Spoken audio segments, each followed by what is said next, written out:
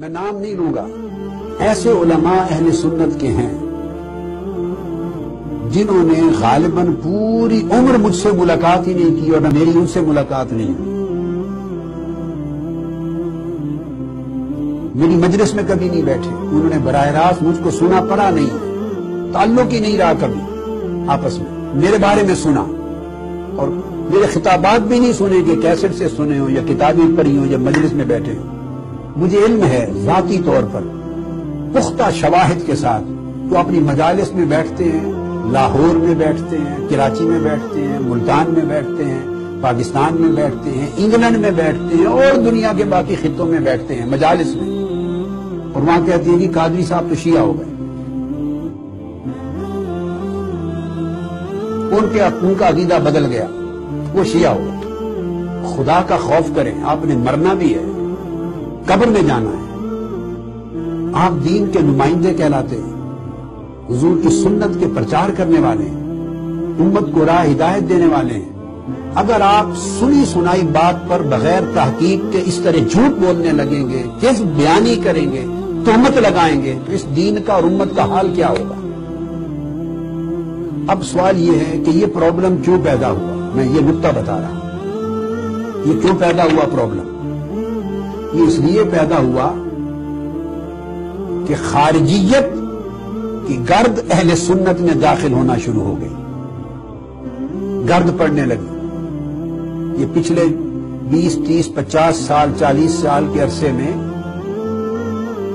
جزیدی فکر نے، خارجی فکر نے، بغض اہل بیت کے فکر نے طاقت پکڑی۔ ان، اس فکر کے ہاتھ میں بندوقیں آ گئی اس فکر والوں کی زبانیں دراز ہو گئیں، پھیل گئے۔ انہوں نے اتنا پروپیگنڈا کیا، اتنا پروپیگنڈا کیا کہ قاعدہ لوگ کہتے ہیں کہ اتنا جھوٹ بولو، اتنا جھوٹ بولو، اتنا جھوٹ بولو کہ اگر کوئی سچ بھی بولے تو وہ جھوٹا نظر آئے۔ جھوٹ کو اتنا پھیلا دو۔ ہر کان پر جھوٹ پہنچے۔ ہر کان پہ جھوٹ اتنا پہنچے۔ صبح شام اتنا جھوٹ کا تذکرہ ہو۔ اب اس جھوٹے ماحول میں اگر کوئی سچ بات کہہ دے تو وہ سچا جھوٹا نظر آئے۔ یہ ماحول کریٹ ہو چکا ہے۔ اب اہل بیت کے خلاف سیدنا امام علی مقام، سیدنا امام حسین کے خلاف، ان کے فیصلہ سفر کربلا کے خلاف، ان کی شہادت کے خلاف، پھر یزید کے حق میں بال واسطہ اتنا پرزور طریقے سے ایک مہم چلی۔ اور شان صحابہ میں خطابات، یہ گوشہ حق کا تھا، یہ ایمان کا پہلو تھا۔ مگر اہل بیت کے مقابلے میں صحابہ کرام کو لا کے کھڑا کر دیا۔ تو صحابہ کرام کے مناقب میں اتنا زور لگایا گیا جو لگانا چاہیے۔ میں بھی اسی سیریز پر گفتگو اب کر رہا ہوں۔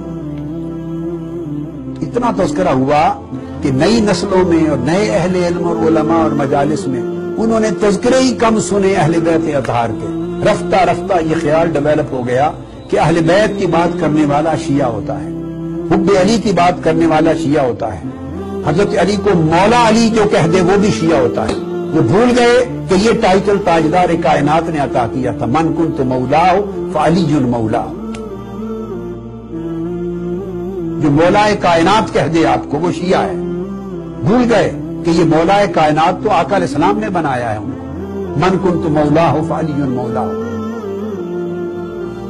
اہل بیت کا جو تذکرہ کرے، جو ان کی شان بیان کرے، تو وہ شیعہ ہوتا ہے۔ اس کو اتنا پھیلایا اتنا پھیلایا اتنا پھیلایا گیا کہ اہل سنت کے لوگ، جن کے آبا و اجداد اور اوپر کی نسلیں اہل بیت کی محبت میں غرق رہتی تھی، فنا رہتی تھی، جن کے ایمان کا خمیر حب اہل بیت سے اور حب صحابہ سے۔ محبت اہل بیت اور محبت صحابہ۔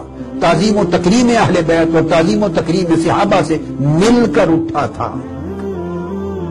جن کا خمیر مل کر اٹھا تھا۔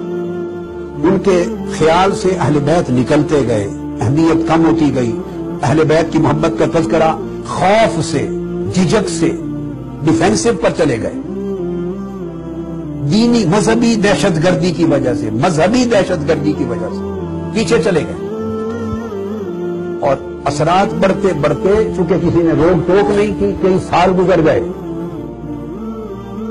نتیجہ یہ ہوا کہ یہ ذہن بن گیا کہ اب جا کے جب میں نے محسوس کیا کہ خارجیت کا غلبہ ہوتا جا رہا ہے عقیدہ اہل سنت پر۔ حب اہل بیت، تعظیم و تقریم اہل بیت، تمسک بل اہل بیت، نکلتا جا رہا ہے۔ جو ہمارے آئمہ کا، اکابر کا، محدثین کا، اولیاء کا، صوفیاء کا، سلاسل طریقت کا شیوا تھا، نکلتا جا رہا ہے۔ تو میں نے پچھلے دس سال کا عرصہ کم و بیش یا اس سے زائد میں نے اس محاذ پر کام کیا۔ اب جو لوگ شناسا نہیں رہے تھے کہ اہل بیت کی محبت اور عظمت اس انداز کے ساتھ یہ اہل سنت والجماعت کا عقیدہ اور ایمان ہے۔ جب انہوں نے یہ آواز اپنے کانوں پر سنی، بغیر تاکید کے مدرسوں میں، مسجدوں میں، اپنی مجالس میں تومت لگا دی، شیعہ ہو گئے، شیعہ ہو گئے۔ گویا اہل بیت کی محبت کو شیعہ کے کھاتے میں ڈال دیا۔ اب اہل سنت صرف وہ ہیں معاذ اللہ استغفر اللہ جو صرف صحابہ کرام کا دامن تھامے اور اہل بیت سے تعلق نہ رکھے۔ استغفر اللہ اللہ ماشاء اللہ میں سب کی بات نہیں کر رہا ہوں یعنی ایسے ذہن ناپختہ کچے کامل اس طرح کے ذہن پیدا ہو گئے۔